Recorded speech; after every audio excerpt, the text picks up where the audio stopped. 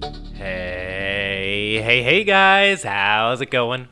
I hope all of you are doing great today. Check it out, guys, episode 21 of our time lapse advent calendar.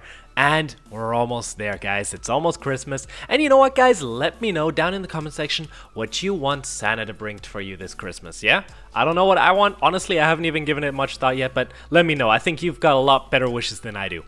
Anyways, guys, in today's episode, we are building the last of the houses. That's right. You're probably already sick of them, but don't worry, guys. This is to be the last ones that we build.